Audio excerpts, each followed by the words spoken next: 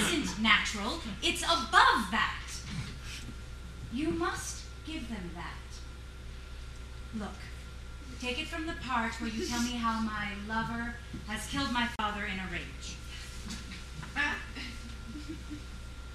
Oh, Faina, if. Despondent passion in the legs. Oh, Faina, if only there had been time. And your hands? Yes. Your love, Lev had a gun. Yes. We did not know this. He asked for your hand in marriage again. Yes. And when your father refused, he pulled out the pistol and shot him. No. Shot him in the head. Oh, Faina, your father is dead, and Lev has killed him and fled. Stop! You look as if you're going to sprout wings and fly away. You must control yourself.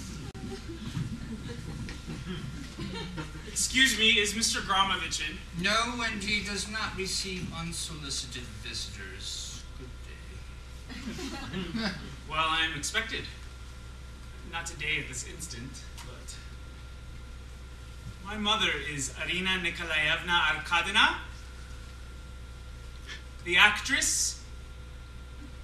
She sent word to me that Mr. Gromovich wanted to talk about publishing one of my stories. Oh, I'm terribly sorry you would know me by my name, not my mother's. I am Konstantin Gavrilovich Treplev. I have no idea what or who you are talking about. I never see the theater. Waste of time. So this uh, actress who you claim is your mother, I have never heard of her. We are in the middle of a large project today, and Gromovich does not receive or accept unsolicited manuscripts. So if you could be on your way and have a good day.